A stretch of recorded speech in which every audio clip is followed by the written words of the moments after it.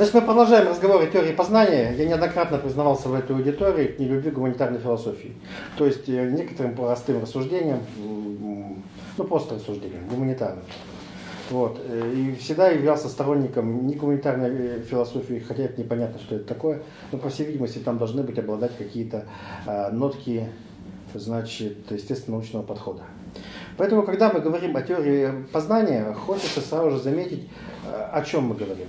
По всей видимости, познание, то есть познавание мира, состоит в приобретении новой информации об этом мире. Ну, казалось бы, такая логичная ситуация. С чем мы боремся, когда мы получаем э, эту информацию? Ну, боремся, конечно, с, собственно, со средой. А еще мы боремся с так называемыми шумами, всевозможными помехами. И третье, с чем мы боремся, это всевозможными паразитными состояниями, о которых я скажу несколько позже. Вот такова наша, наша ситуация. То есть картинка... А с консерватизмом мы боремся? А, с консерватизмом? Что все стремится к тому, чтобы впасть в некого рода локальный минимум, ну, да, да. увестись как бы и больше не развиваться. Да, я, я расскажу, с чем мы боремся, с чем не боремся. С этой точки зрения у нас есть картинка, прямо противопостоящая картинке э, философии. Она состоит, казалось бы, она чрезвычайно банальна.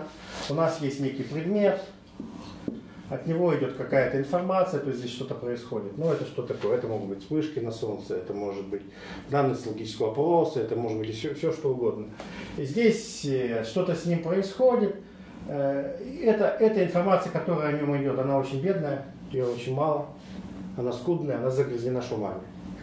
Потом мы Б ее получаем, и на основании вот этой картинки Б каким-то образом восстанавливаем парадигму А. Вот так мы работаем.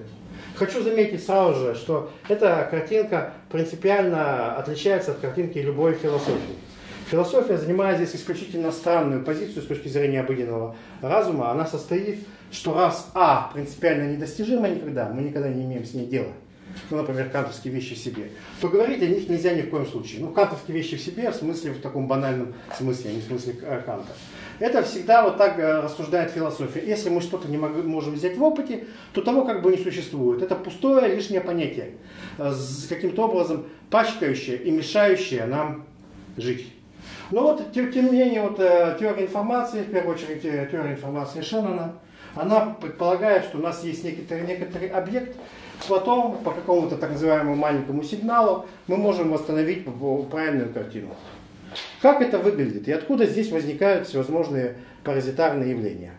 Но в самом деле, представьте себе, представим себе на минутку, что то, что у нас происходит, это как бы у нас вот есть сигнал в форме синусоиды. Вот она через ноль уходит, там, и вот таким каким-то образом идет.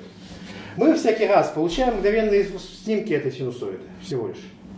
Например, мы получаем эти снимки здесь, здесь, здесь, здесь и так далее. Но спрашивается, мы хотим заниматься измерениями. Мы вот эти, как часто мы должны проводить вот эти снимки, вот этой самой синусоиды? Мы проводить их должны достаточно часто. Но насколько часто? Ну, вроде как бы непонятно. Но представьте себе, если мы будем снимать эти снимки э, с равных периоду вот этой самой нашей синусоиды, то есть вот здесь и все время вот здесь, да, мы видим таким образом, что у нас оказывается картинка такова, что через эти точки можно будет провести прямую. И мы потеряем информацию полностью. Теперь представьте себе, если мы будем на пол периода делать, тогда мы будем как-то вот здесь ее, ее, ну, эти, эти снимки получать. И тоже становится, становится совершенно непонятно, хотя уже близко к реальности, как мы можем это дело восстановить. Или возьмем какой-то другой период. Вот здесь, например, сняли, а второй здесь мы видим, что синусоиду мы через эти две точки можем провести двумя различными способами. В теории шумов, то есть всевозможной радиоэлектронике, подобного рода вот вещи, видите, да, что вот здесь такая вот синусоида какая-то большая идет, с большим периодом. Это называется появлением низкочастотного шума. Ну и у нас есть замечательная теорема, это называется теорема Котельникова, где Котельников нам говорит такие вещи, чтобы для того, чтобы, ну любой сигнал полагается, мы понимаем, что это Гильбертово пространство, да, и оно раскладывается по набору ортогональной функции. Ну, качественно оно может быть расположено по синусоидам. Почему я синусоид сделал? Мы его берем. Этих синусоидов может, синусоид может быть конечное количество. Тогда мы берем период э, самый плотненький из них и должны брать эти точки в теореме Котельникова меньше половины ее периода. Вот такие они. Вот меньше половины периода. Действительно, когда мы ее берем меньше половины периода, то есть вот этого, вот до сюда, до сюда, да, то мы, мы, мы, мы получается, что эту синусоиду можем восстановить однозначно. И никакого, а если мы, у нас появляется гармоника вот с такими шумами больше половины периода, то у нас возникает погрешность. Это я просто привожу в качестве метафоры. Так называемый низкочастотный шум. И нам, и нам его каким-то образом его надо отфильтровывать. Что мы видим на этом простейшем примере? Вот, казалось бы, простой, естественно, научный пример, связанный э, с, с, со всевозможного рода знаниями. Ну вот, ну пример просто. Мы видим, что если даже от исходного продукта первоначального мы получаем исключительно мало информации, а согласитесь, иметь точки это гораздо меньше информации, чем иметь все целиком. Да? Если она загрязнена всевозможными паразитарными шумами, то при помощи различного рода техники мы можем ее отфильтровать и потом вот из этого скудного набора спектров получить нечто достоверное. То есть получить ну, вот наше... это же смешно на самом деле. Ты как бы заранее знаешь, что там синусоиды, конечно, получив какие-то точки и зная законы э, расположения этих точек, ты можешь прочертить синусоиды. Да, но... А если нам дан объект А, который нам никак не известен, вот, например, я сижу, да, а Б, ты, ты, ты, ты где-то там слышишь мое чихание. Ну сколько да. бы ты как бы мое чихание не слышал, ты меня как объект никогда не получишь. Угу. Так что вот это ну, твое, в данном случае твоя аналогия, твое чихание. Да, да чихание так и останется объект. Но меня-то не будет все равно. Так и не важно. Не, просто как будет, бы... Будет теория чихания. В теории информации... Не теория, не теория Булата, а теория чихания. Теория информации. Да, потому что, потому что, чтобы там иметь Булата, надо бы еще покашлять хотя бы немножко. Егор их покажет, просто, просто, что. Просто, просто есть... теория информации, просто... и сама информация, Влад, она, подожди. Ты, несправ... ты несправедливо относишься к сам себе, потому что говоришь, что ты сводишься полностью к чиханию, ты, поверь мне, ты себя недооцениваешь. Не, ну ты только что сказал, у нас есть объект А, нам недоступны. И очень мало информации, которая объект Б. И мы можем каким-то способом так, а, восстановить А. Почему здесь пример этот приводился? Потому что ты любую функцию можешь разложить, разложить как суперфункцию синусоид. Не, ну ты как бы сказал про вещи себе. Я да. к тому говорю, что эта аналогия, она просто неверна в корне. Ты имея, что информация только тогда из информации может что-то восстановить, что если информация имманентна самому объекту. Если как бы в, в, в этой информации сам объект заключен. Ну. Только тогда можно из этой информации вынуть объект. Но ну, если ну, получ... информация смотри, есть какая-то... Смотри, по получается, что совершенно совершенно информация, получается, она вот такая носит исключительно частичный и ничтожно малый характер. Тем не менее, ты по ним целиком можешь каким-то образом восстановить а, объект. Ну не можешь. Если, ну, если объект, ну, объект является чихание. Вот в соседней комнате раздается чих. Я анализирую этот чих и строю теорию чиха. Не, если, я не знаю, что там... Э... Игорь, ты имел в виду, что объект там, он какой-то там, вплоть до, до того, что он вещи секретный какой-то? Нет. Он... Ну, он начинал с того. Я имею в виду, что ты всегда по информации, которая получена, можешь восстановить только то, что в информацию заложено. Но не больше, ничего об объекте ты не узнаешь. У тебя есть информация, ты эту информацию можешь профильтровать, сколько угодно фильтровать, но до какого объекта ты не дойдешь. Так нет, подожди, но ты же, когда говоришь об, это, об, этом, об этой вещи, речь идет о том, что он живет большой, сложной жизнью, этот объект. Ты усваиваешь его информацию тем образом, что снимаешь его в дискретный спектр. И тогда ты эту большую сложную ситуацию можешь восстановить целиком и полностью. Не можешь. Вот это и состоит, что если система достаточно сложна, то ты не можешь по каким-то частным данным восстановить полностью всю систему. Не можешь этого сделать. Но это же как бы элементарная вещь. Я понимаю, что если как бы информация, которая вот получается, что, что, что, что, что это данные, да, данные, они являются совершенно образом достаточными. Вот в том, это и интерес. Я всегда же люблю говорить о подвиге. Вот подвиг в этом и состоит что э, ты имел э, совокупность какой-то... Ну, знаешь, что похоже? Вот, допустим, приходили бы тебе ежедневные данные о том, сколько погибло и сколько ранено там вот, представь, на Украине. Да. Мог бы ты восстановить картину, что происходит на Украине? Вот потому что эти данные недостаточны. Эти ну, данные недостаточны. недостаточны. Так вот я и говорю, что всегда будет так с многосложным объектом, что данные, любые данные о нем будут недостаточны. Так устроен объект, если он сложный. Ты не можешь на самом деле это для того, чтобы получить о нем полную информацию, надо его полностью разобрать и превратить вот, в информацию. Смотри, ну точно, точно так же. Вот у тебя берется... Теория информации, поэтому она нечто глупое, на самом деле, с точки зрения исследований. Потому что информация тогда должна быть полной, чтобы Нет, покрывать смотри, весь объект. Ну, зачем она, тогда нужна... она его не должна покрывать. Посредник зачем нужен тогда, если есть смотри, объект? Значит... Здесь тогда тебе не нужно, не нужно совершенно познавать полностью, полностью весь объект. Ты его именно восстанавливаешь по нескольким точкам. В этом вот я тебе еще раз говорю, тебе приходят Булат, данные Булат, о убитых Булат, раненых на Украине. Восстанови события. Булат, Игорь, действительно здесь терминологическая проблема. Э, объектом, который мы восстанавливаем, является сам сигнал. Угу, вот объектом является это синусоид или более сложное, а не то, что его э, э, продуцирует. Вот. Объект вот можно восстановить. Э, в данном случае, если мы говорим, хотим получить полную теорию и модель объекта, который продуцирует, нам нужно снять множество, множество, множество сигналов, и тут не обойтись уже без гипотез, построения модели и все прочее. А это простой случай. Есть сигнал, мы должны как-то его вычислить. Мы можем это вычислить. Правильно, мы же заранее знаем, что как. Не знаем, не знаем. Примерно, что сигнал примерно, как некая синусоида Нет, или, не знаем, или пакет синусоид. Ну, Нет, как? Мы не знаем. То, есть, то, что Игорь говорил, что э, анализ э, синусоид нам может дать любой сложности сигнала, разложение спектра. Ну, смотрите, любой да, давайте, давайте, допустим, приходит любой сигнал. Да. Ни по каким точкам мы никогда не узнаем, как он. Потому что сигнал может не иметь закона какого-то. Он может быть просто любой какой-то многосложный сигнал. Ну, И как вы по каким-то отдельным точкам восстановите сигнал? По, анализу, по анализу спектра сигнала, если там действительно белый шум, то мы поймем, что это белый шум. Если там Почему белый шум? Он может быть, у него может быть период, там, год, допустим, ну, ну у него может быть есть этот период. Значит, с какой-то вероятностью мы скажем, что на, на промежутке меньше года это белый шум. А если больше поанализируем, мы вскроем. Ну, это, я не знаю вообще, насколько это теория познания, к этому относится. Все-таки теория э, информации. Это теория передачи, я бы сказал. Передачи, да. да. Насколько при передаче мы теряем модели. или не теряем? Как а? Здесь нет модели. Ну почему? Мне кажется, что модель-то как раз есть. То есть если, э, да нет, наверное, модели, потому что когда мы нет, получаем... у нас, здесь, а почему здесь есть модель-то? Почему она здесь есть модель? Потому что мы видим, ну вот, например, ну чего там изобрести?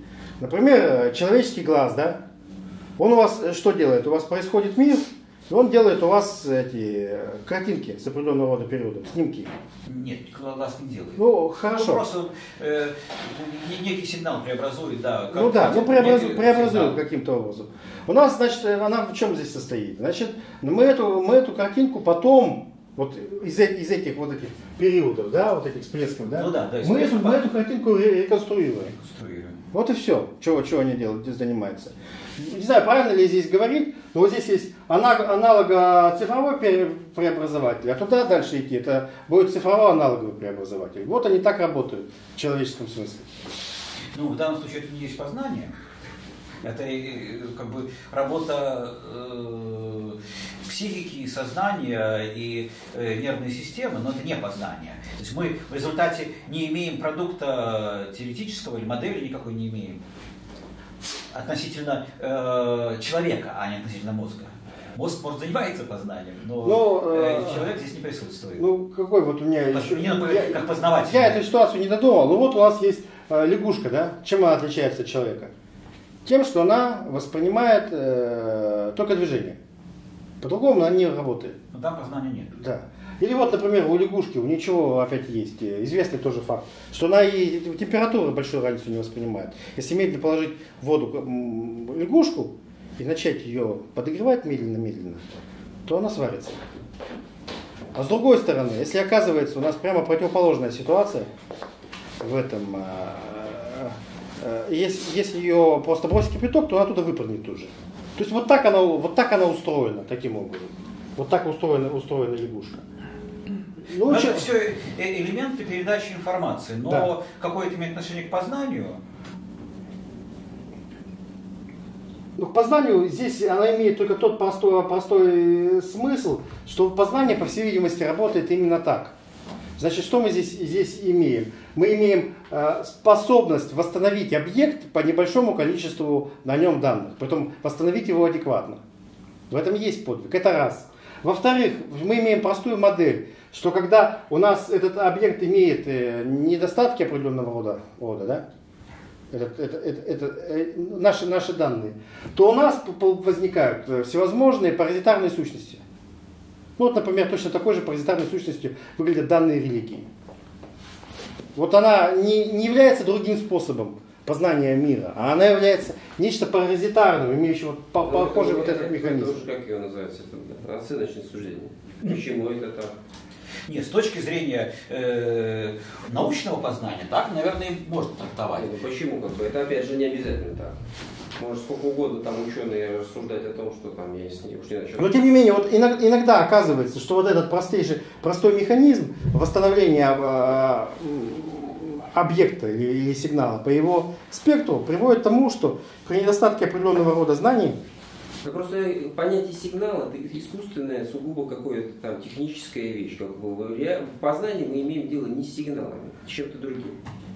То есть, как бы... Ну почему? Детектор лжи, например, так называемый. То есть по неким сигналам мы делаем оценку э, некому объекту, который эти сигналы производит. То есть мы анализируем информацию некую На самом деле, как и бы... делаем выводы об объекте, который гораздо сложнее.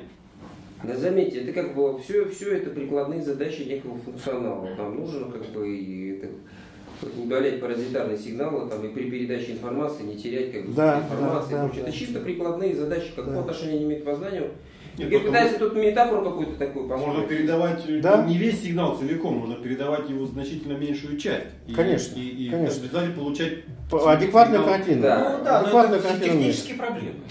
Ну, я не уверен, что это технические проблемы. проблемы с человеком, опять же, можно. Человек, Нет, человек, человек может я, говорить три буквы. Я имею в виду, а что это не философские этого... проблемы, а технические. Но, но это говорит о том, что по набору определенного рода экспериментальных фактов, по очень незначительному, мы можем пытаться восстановить адекватную картину мира. Э, при наличии модели. Нет, мы можем строить на этих э, Нет, мы на этом э, стро, строить на нем мы не можем. То есть на случайный факт мы не можем строить. Мы ну, это, интерпретируем. Это, это, это же факторы не случайные. Факторы же не случайные. Нет, в любом случае, это же, э, без модели это не познание, а просто, э, что вижу, то и пою, что-то получаю. В принципе, даже без модели я не могу... Почему? Создается модель, потом да. эта модель просто... Вот, вот, создается модель. А вот, ну, когда создается модель, это, это есть познание. То есть не, не получение, вот познание это не получение этой информации, а познание это э, построение модели, которая, с, с, с помощью которой мы можем Почему? распознать сам, эту сам информацию. процесс получения информации это тоже познание? Не познание. Ну, не, не познание. Мы, э, э, э, мы же э, смотрим на Солнце и, э, и не, не просто так смотрим. И мы, не познаем мы, мы, мы смотрим на Солнце с целью увидеть вспышки на Солнце. Нет, это уже, это уже модель. Уже есть модель. Когда у тебя есть модель, что есть некие... Почему? Сначала, сначала мы увидели вспышки, а потом начали строить модель. Почему так, эти вот, вспышки? Надо, надо, смотрим, надо постараться мы... понять, насколько этот механизм э, работает с, необходим, с необходимостью. Потому что действительно же есть странный э, механизм, когда ну, у меня он свой, у меня легкий астигматизм, я одеваю новые очки, а у меня стены кривые. Полчаса. Потом стены прямые. Сознание подстроилось под это, и стены, вот, и стены, да. и стены прямые становятся. Вот в каком-то смысле. То есть оно работает по определенному... А ты в очках тех искривляющих не пытался стены равнять? Выровнял бы стены это молотком и все. И тебе бы не надо было бы мучиться приспосабливаться. Изменил, ну, изменил бы реальность. Ну, можно, можно, можно, ну, ну, ну, все, эти, быть. все эти эффекты подстройки сознания, все это не имеет отношения действительно к познанию, человеческому познанию, как форме деятельности. Это не деятельность, это наше обыденное существование. Да, да Сознание наше да, подстраивается... Да, да. Э, соглашусь, соглашусь, да. И подстраивается очень интересно, безумно интересно. Последние эксперименты, э, тогда, если мы на это уже пошли, э, ну это уже несколько, не, не, несколько 15 лет, 10, наверное, проводит. Сначала э, попытались заставить людей видеть языком. Слышали это? Нет. Значит, э, Есть факты, что люди видят звуки. Вот, да нет. Значит, э, э, маленький приборчик, пластинка э, с матрицей, разрешение все время увеличивают, но какой-то язык оказался наиболее насыщен, ну не оказался, наиболее насыщен рецепторами э, участок кожи у нас. Угу. Э, матрицу на язык, подключают к камере и проецируют на э, матрицу изображения. Через некоторое время э, человек начинает видеть, вплоть до того, что ловит мячик, может играть в крестики-нолики. Если видит что? Что он языком трогает? Да, он видит. Нет, он видит камеру, что камера ему показывает. На матрицу проецируют с камеры изображения с разрешением не очень большим, конечно, потому что та матрица э, не такая, как... И он реально видит, да? И он реально интересно, видит. Интересно, да. То есть, получив угу. поток э, сенсорных каких-то данных, э, мозг интерпретирует их как зрительные. Вот, то, есть ему не важно, из какого органа. Не важно. Да, да, да. А я, а я, а я о чем и говорю. Да. Вот он получил вот. некий поток дискретных данных, а потом сделал сложную работу и восстановил общую картинку. Сейчас, сейчас новое направление. Значит, э, стали работать с больными с вестибулярным аппаратом у которой после э, каких-то сложных там антибиотиков э, ноги расходятся, они не могут стоять, чуть шерохнуться падают, еле ходят, mm-hmm. теряют полную ориентацию.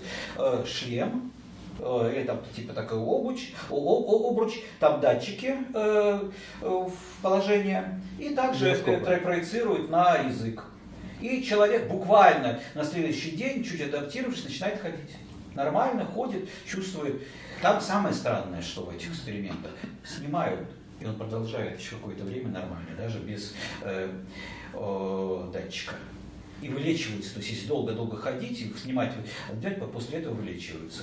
Но здесь, скорее всего, вступает, ну, вот у меня, у меня своя, своя гипотеза, что э, э, хоть какой-то датчик и подключаются какие-то другие клетки, которые тоже реагируют, он синхронизирует свои, свои э, не те клетки, которые у него раньше изначально были на визофисперном аппарате ответственны, а другие, да, какую-то часть. Может быть, э, что-то в ухе, еще где-то, может быть, что-то с языком, еще с чем-то. И он ассоциирует э, изменения э, гравитационного воздействия на другие э, свои части тела, синхронизирует с тем, что у него был подключен датчик через язык. И когда датчик даже убирает, он уже переключается на то, что синхронизировалось. Не, ну в каком смысле идет, идет в русле того, что и говорит. Действительно, получается, что и имеет какую-то ограниченную информацию, как бы можно, можно да, восстанавливать можно целое. Но это не тем способом, как бы, что ты э, убираешь шумы, а просто тем способом, что приспосабливаешься. Как Нет, здесь я про шумы, кстати, не сказал ничего вообще. Но ты говоришь, что вот здесь как бы можно взять точки неправильные и получить. Да, если взять неправильные точки, то получится Если продолжать эту аналогию, то действительно есть связь с познанием. Здесь какая? Э, то, что я говорю, что вот формула, по которой рассчитывают, это есть модель. Ну. То есть э, задача какая? У нас идет зашумленный какой-то поток, по которому мы, не зная, что это, ничего да. не можем сказать. Да. Мы начинаем анализировать методом стыка, пытаемся думать, это синусоид? Нет, не синусоид. Это, это э, прямоугольный сигнал? Не прямоугольный. Такой всякой. Вы их считываем. Ну, делаем множество. Модель. Нет, пафос-то, пафос-то состоит А потом строим модель, которая позволяет нам при любом сигнале понять, что, что, что любой, сигнал. любой сигнал можешь разложить как просто для, для этого нужно сначала еще получить модель в виде этой формулы, которую можно разложить. Если не вот. знаешь, что можно разложить. Это, это вот такова, такова ситуация. А с шумами и там э, можно различными способами работать. Ну вот один из самых распространенных вещей, когда мы видим, что у тебя вот здесь такое все идет, вот такое бац, бац, бац, бац, кривое, да, но ты видишь, что здесь у тебя есть период где-то. Потом, э, ну, тебе высоко наш сигнал, вот этот, самые данные, никаким образом не вычислить. Как ты делаешь? Ты берешь на, на большое количество периодов, это дело суммируешь. Поскольку шумы, они носят случайный характер, то они взаимоуничтожаются ты получаешь правильный твой сигнал. Но это не обязательно синусоида, да, это может быть какая-то там другая кривая штука. И вот ты, ты остался без шумов, то есть остался с правильным сигналом. Ты воспользовался его стохастической природой для того, чтобы от него избавиться. И периодичностью. Но это только наука. А есть же и философия. Нет, это просто, это просто это научные... про, то, что, про то, что работает. Это же работает все эти вещи. Да, работает, конечно. Ну, и вот так, так же и вот с этим, со зрением, с языком, тоже ситуация. Потому что картинка наша работает таким образом, что мы получаем от органов чувства или что-либо еще очень маленькое количество информации, а потом строим полностью картинку. Берем ее строим. Да, потом это... Только какая-то картинка имеет отношение, как на самом деле, еще непонятно. А проблема состоит, что вот это есть то на самом деле.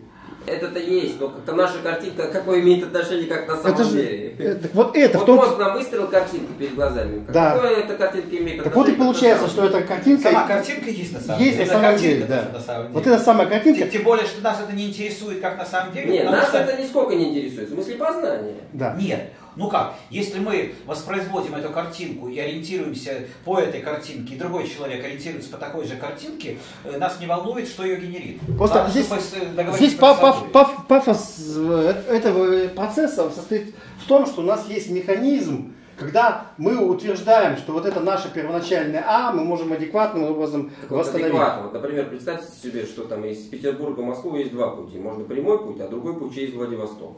Ну. ну, как бы, ну, представьте, что наша картинка, которая нам генерится, да, это вот тот самый путь через Владивосток. Можно, ну, конечно, сказать, что это то же самое, но ну, как бы есть же нормальные... Но если, я, я, же, я же нормального не знаю, ты все через Владивосток, этого достаточно, чтобы... Это я понимаю, так я и говорю, как на самом-то деле. А на самом деле никак. Нет, ну можно же сказать, нет, что... Нет, нет, именно, именно Земля, когда... Можно сказать, что Солнце вращается вокруг Земли, а можно сказать, когда, что Когда у тебя более-менее достаточное количество... Ну это же всякий раз э, люди... Ну какой-то можно пример привести. Ну, из, из, из, из, из, прост, из простых каких-то каких-то вещей. Ну вот, идем, вот мой любимый пример. То ли э, дом, то ли, то ли человек, то ли столб. Перед этим стоит. Вопрос нерешенный. Пока ты думаешь, что это то человек... Женщина, то ли видение. Ну, кому как. Да. Нет, просто из песни, то ли женщина, Да, то всякий раз, когда вот я постоянно, попадался, да. То ли девочка, то ли видение. Да, да. Значит, постоянно это дело попадался. Пока ты видишь, что думаешь, что это э, человек, ну, как гипотез, ты будешь видеть пытаться человека. А потом в определенный момент, вот этот поток данных, он вступит в противоположность нашей картины, ты увидишь столб. Это вот когда я кросс бегал, у меня в одном и том же месте, я всегда забывал ситуацию, и всякий раз видел в темноте, я по ночам бегал. Модель должна быть. Ну не получается, смотрите, она не моделью является. В чем интерес-то здесь? А в том, что она вот этого самого человека э, восстанавливает э, с адекватной, с адекватной, адекватно. То есть картинка, она не платоновская. Не в том смысле, что у тебя есть некий эйдос, который предшествует восприятию человека. Нет, это не эйдос, но в любом случае, скажем так, если бы человек Э, никогда не видел, ему положили бы на язык э, этот датчик, он бы и не увидел. Ну это да, это да. Но вот. тем Поэтому если у него есть представление о том, что такое мячик, есть такой крестик, нолик, и ему кладут на язык этот датчик, а, он так работает, то есть. В принципе, он уже глазами когда-то все это видит. Ну, конечно, да. Я, думаю, я думал, что слепой человек от этих датчиков ничего не, не получит. Mm-hmm. Что у него вообще нет, нет представления, что ну, это да. за он информация. А вот если он начинает получать, в мозг приходит некая информация, ранее напоминавшая структуру, структурированная так, как была зрительная. И он ее ловит, ему плевать, его от глаз или от языка он получит. Он видит, э, скажем так, темпоральную структуру сигнала, она разная, скажем, от, от будет обонятельная, там, э, зрительная, слуховая, по-разному. И он, естественно, воспринимает ее как зрительную. И потом, э, ад, ад, адаптировавшись каким-то уже образом, которые у него были, и подтверди, в опыте под, подтянул, увидел, что это подтверждается, закрепляется и переключается полностью на язык. Угу. Я, я хочу сказать, вот эта картинка, которая мучает большое количество исследователей, философов, когда для того, чтобы узнать, э, что, увидеть лист, надо с самого начала знать, что такое лист, да? Для того, чтобы видеть диван, надо с самого начала знать, ну, вот об этом про модель ты говоришь. Что, что, что, что, что, такое, что, такое, что такое диван? Ну, здесь... Ну, знать да, модель. Да, но здесь картинка, она работает иначе, когда у тебя, когда Э, перед тобой то ли столб, то ли человек. Она, на, на автомате она включается. Идешь, идешь, идешь. У тебя есть эйдос столба, эйдос человека. И, и вот и нету. И картинка совершенно работает без какого-либо эйдоса. Ну, нету ни эйдоса столба, ни эйдоса человека. Как вот картинка норме сигнала, да, но что ты увидишь и в этом сигнале, увидишь ли НЛО или э, черта, зависит не от того, что там летит, а от того, что ты хочешь увидеть. И, и, и, и работает это не так, в том-то и дело. Я потому что бегу, Игорь, смотри, бегу, я, я пытаюсь увидеть все время э, человека. Я стараюсь, я привык к тому, что там человек. Ну там человек далеко идет. Но поздно или рано у меня вот это количество этих данных будет снято с необходимым образом, и меня принудит тому понять, что это столб. Да, понятно. Никуда я не денусь. Все ясно. А если человек не знает, что такое столб, никогда не, не видел, не понимает? Тогда он воспроизведет что-то там вот, близ, вот, близкое вот, к Вот это есть, значит, есть какая-то модель, под которую он подводит. Э... Но, но важно понимать, что эдетического разговора нету, а есть Картинка... Но модель это и есть ИДОС. Да, смотрите, ну, э, Эдетической картинки нету, потому что у нас получается, что есть как бы определенного рода механизм, нас, работающий, который восстанавливает картинку из небольшого количества сигналов.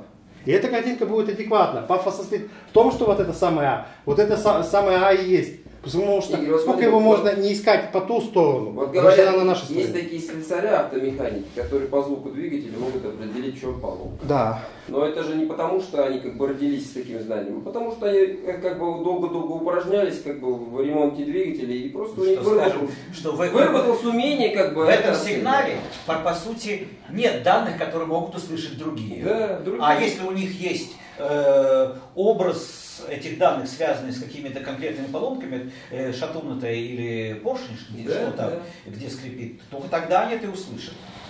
Ну, э, это естественно везде. Поэтому и в искусстве... модели предшествуют все-таки, чтобы восстановить полностью картинку, если ты хочешь полностью картинку. Ты берешь произведение искусства, э, музыка или живопись. Ну, если нет, это речь идет о том, что, нет. то, что с этими данными потом дальше работает ну, за сколько, да, за сколько этих звуков мелодию угадаешь? Если ты мелодию не знаешь, ни за сколько не угадаешь. Правильно? Надо знать мелодию изначально, для того, чтобы потом за какое-то количество звуков ее угадать. Та да, но, но будет достаточное количество звуков таким, что эту мелодию просто воспроизведешь, построишь ее заново. Ну сколько? Допустим, эту мелодию можно за три звука угадать, а ты как Это угадать можно за три звука. А, а ты по... за три звука никакую мелодию не Я не угадаю, а зато за, за 30 я ее воспроизведу.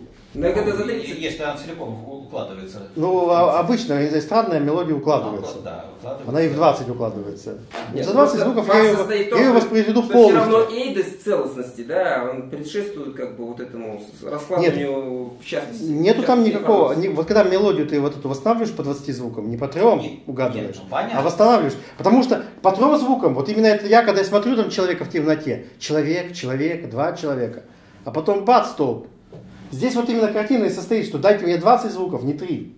Мне не надо будет гадать, я восстановлю эту мелодию необходимым образом. Да, ее не нужно будет восстанавливать. Она и будет сама давать. Ну, да, если, знать, если знать, Потому что нет, пример нет, такой. Пример. Еще знать, что это мелодия. Еще. Да. Потому что ты все время пытаешься сказать про какие-то недостаточные данные. Недостаточные данные это другое. Ну, действительно, у тебя есть синусоида, вот ты одну точку его вершины нашел, ну и что ты не скажешь? Ничего не скажешь а потом тебе скажут, а, ну, это синусоида гимна Советского Союза. Я, конечно, согласен с Александром, что на самом деле действительно всегда предшествует некоторого модель. Для того, чтобы из частности восстановить целое, из счастья восстановить целое, нужно знать это целое сначала. Или иметь модель ее какую-то. То есть, мне кажется, все-таки... в, каком, в каком-то смысле получается, что не так. Получается, ну, а как бы, получается что, что, что здесь именно машина работает. Машина... Получается, что человек Нет, приходит... Машина по... есть модель. В машине всегда заложена модель. Нет, вот машина, машина, машина, машина производства вот этого самого. А ты, получается, тебя, получается, приходит автомеханик, никогда машина не работала, как бы ему говорят, что за звук, он только, да, это шатун, как бы, да. У тебя так получается, что он Нет. заранее как бы по звуку. Это опять, опять, то, что ты предлагаешь, это ты говоришь опять, а угадать мелодию с трех нот. Ты мне все время это предлагаешь. Нет, хорошо, ему все, мело... все скажут звуки. Перед, перед, перед нами поток частиц элементарных, да, и чтобы вычленить из них электроны, там, э, позитроны, мионы какие-нибудь, у нас уже должны быть эти модели, мы должны уже знать, что они, вот у нас есть, описываются такими характеристиками. Если мы впервые видим этот поток, мы там не найдем электроны, не отличим его от миона. Да, но при, доста- при достаточном количестве информации мы, это, мы этого электрона создадим просто-напросто. Никогда не знав. В этом и стоит производство нового знания. Да. Ну, Игорь, а тогда не, не... мы, мы не воспроизводим, мы электрон не воспроизведем. Игорь. Мы создадим модель, а как после мы создаем модель, мы уже автоматом будем, э, как Нет, машина. Мы, мы именно получим практически электрон. Мы снимем большое количество данных, у нас будет высокая описательная способность. Нет, и мы, Игорь, и мы а зачем получим... тогда люди нужны? Вообще говоря, загрузил машину какой-то всякого мусора, как бы она выходит в общество. А машина делает, человек делает машину вот эту. Да. Без человека. Само, человек, человек это и есть эта машина. Ну, в некоторых случаях, да. То есть, если в ну, искусстве... Конечно, нет, конечно искусстве... человек, человек к этому делу не сводится, но тем не менее, вот работает вот так. Да. В искусстве, да, это есть человек. Если говорить о науке, э, то дополнительно еще машины... Которые создал человек, создал человек, который, метод, в, в которой воспроизведена модель, и благодаря этой модели, то есть зная, скажем, э, какие-то параметры, уже зная предварительно, что ты должен ловить, ты только это сможешь поймать. А так просто вот абстрактно по сигналу ничего не, непонятно.